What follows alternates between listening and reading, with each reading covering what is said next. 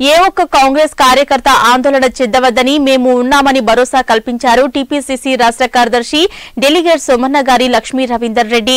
కొల్చార మండలం రాంపూర్ గ్రామ పంచాయతీ వాటర్మెన్ ఉష్క భాస్కర్ గుండెపోటుతో మృతి చెందగా భాస్కర్కు నివాళులు అర్పించి వారి కుటుంబ సభ్యులను పరామర్శించారు. అనంతరం కుటుంబ సభ్యులకు రవీందర్ రెడ్డి నగదును ఆర్థిక సహాయంగా అందజేశారు అనంతరం అంత్యక్రియలో పాల్గొన్న రవీందర్ రెడ్డి అతని పాడెను మోశారు.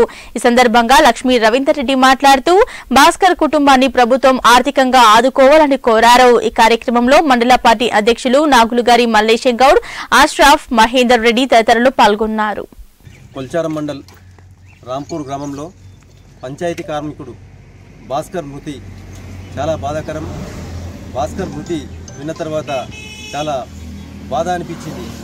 ఎందుకంటే ఎంతో కష్టపడి గ్రామం కోసం ఆర్నిషల్ కష్టపడే భాస్కర్ అదే రకంగా కాంగ్రెస్ పార్టీ అంటే కూడా వాళ్ళ కుటుంబానికి ఎంతో ఇష్టమైన మనుషులు వాళ్ళు. ఆ కుటుంబం మాకు కాంగ్రెస్ పార్టీకి దూరం అవ్వడం అంటే చాలా బాధాకరమైన విషయం.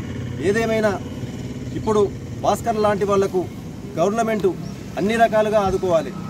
ఒక పారిశుద్ధ కార్మి ఊర్లో కార్మికుడుగా పనిచేస్తూ అతన్ని గుర్తించడం మన ధర్మం. ముఖ్యంగా ఈరోజు రాంపూర్ గ్రామానికి వచ్చి సుమన గారి లక్ష్మక్క అంటే నర్సాపూర్ కాన్స్టిట్యున్సీలో ఎవరికి బాధ ఉన్నా ఏ ఆపద ఉన్నా తని వచ్చి కలుస్తుంది. అదే రకంగా ఈరోజు రాంపూర్ గ్రామానికి వచ్చి మాకు తోచిన సహాయం నా వంతుగా అక్క తరఫున ఈరోజు భాస్కర్కు భాస్కర్ కుటుంబానికి అందించడం జరిగింది.